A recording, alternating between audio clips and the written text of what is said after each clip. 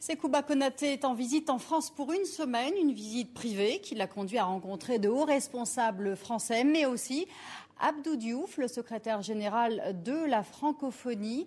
Euh, l'homme fort de la Guinée en a profité pour présenter la situation dans son pays et surtout affirmer son attachement au processus démocratique. On écoute le général Konaté. Il était au micro de Jean-Luc Eguesier et d'Alexis Delcourt. Moi, en ce qui me concerne, j'ai fait ce que je devais faire.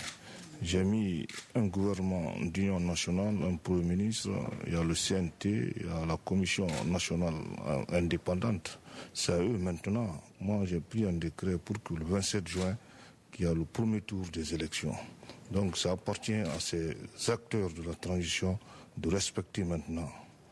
Vous vous êtes engagé, vous et les membres du gouvernement, à ne pas vous présenter. Est-ce que vous maintenez cet engagement?